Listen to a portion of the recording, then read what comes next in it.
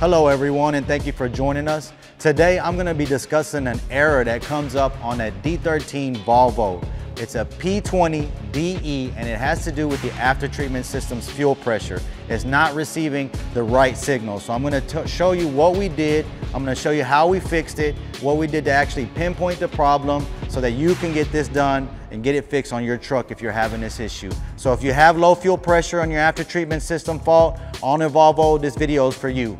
Thank you for joining us. If you like this type of content, be sure to hit that like, subscribe, and turn on notifications so you're notified when we go live or when we release a new video. If you'd like to schedule an appointment, you can call us at 972-225-3017. We are located at 4140 Langdon Road, Dallas, Texas 75241.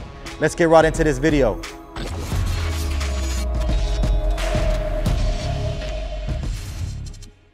Okay, first I want to explain what this fault is.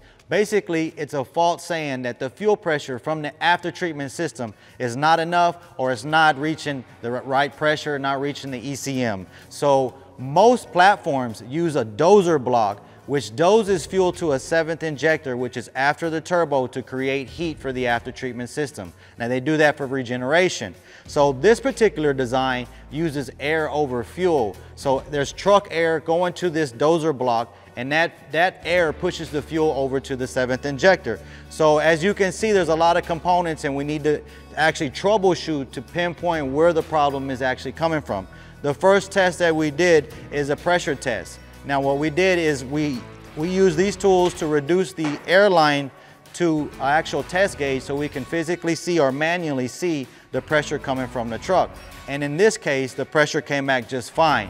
If we had low pressure, then of course we would troubleshoot that further. Sometimes that could be a clogged air dryer, clogged air dryer filter, or a bad valve or a leaking line. That's why it's important and I always recommend replacing your air dryer at least once a year.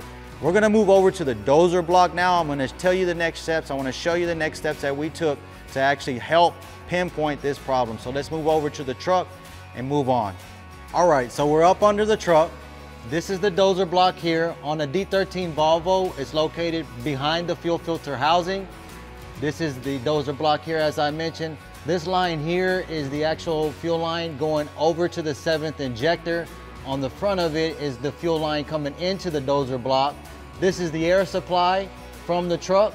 And here is our fuel pressure sensor for the after treatment system. Since this is where we're getting our fault, this is where we've been testing out here.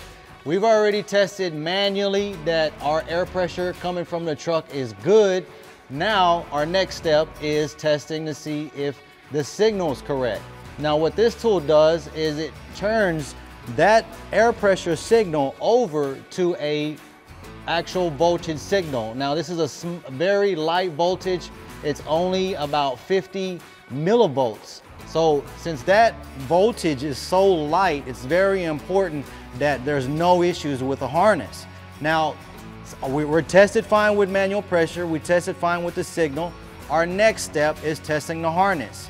Now, when we test the harness, we're basically gonna make sure that there's no opening between that actual pressure sensor and the actual ECM.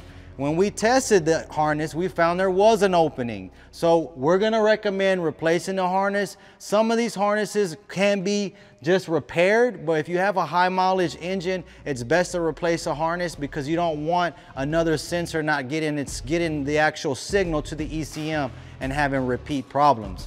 Make sure you're taking these types of troubleshooting steps if you have this fuel pressure after treatment system fault because if you don't, you could have truck supply, air supply issues, or you could have um, a, a, sensor that's bad because if the harness actually tested out fine, then that would indicate that we have a sensor problem. So guys, I hope all this information is useful. Thank you for watching. Thank you for watching. I hope this information was useful. If you like this type of content, be sure to hit the like, subscribe, and turn on notifications so you're notified when we go live or we release a new video. We've seen that over 80% of our viewers are not subscribed, so be sure to hit that subscribe button. If you have any problems with your Volvo or your D13 Volvo or D12, give us a call, 972-225-3017. We are located at 4140 Langdon Road, Dallas, Texas, 75241. Guys, until next time, be safe.